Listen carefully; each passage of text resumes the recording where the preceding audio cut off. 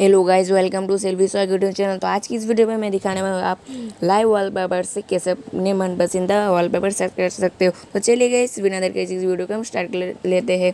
जो लोग हमारे चैनल बनाए तो प्लीज़ चैनल को सब्सक्राइब कर दीजिए, इस वीडियो को लाइक कर दीजिए, इस वीडियो को शेयर कर दीजिए। सबसे पहले क्या करना है, यहाँ पर आपको स्क्रीन पे कुछ इस प्रकार से टैप करना है। मतलब टैप करके रखना है, फिर यहाँ पर कुछ ऑप्शन आपको देखने को मिल जाएगा, यहाँ पर आ जाएगा ऑटोमेटिकली टैप करने के बाद। ठीक है गाइस ऐसे आपको वॉल पेपर्स का एक ऑप्शन देखने को मिल जाता है। और वो वॉल्स पेपर्स में क्लिक कर देना है। ऐसे आपको तीन ऑप्शन मिल जाते हैं। Static wallpapers live wallpapers model mode ठीक है ऐसे आपको लाइव वॉल पेपर्स में क्लिक कर देना है। क्लिक करने के बाद आपको बहुत सारे वॉल पेपर्स देखने को मिल जाएगा। यहाँ से मैं एक सेट कर देता हूँ। किसी का सेट करना है? आपको जो वॉल पेपर सेट करना है, उस पर आपको सिंपली ऐसे इस तरीके से क्लिक कर देना है। मतलब क्लिक कर देना है। क्लिक करने के बाद आपसे बैक वाले ऑप्शन पर क्लिक कर देना है।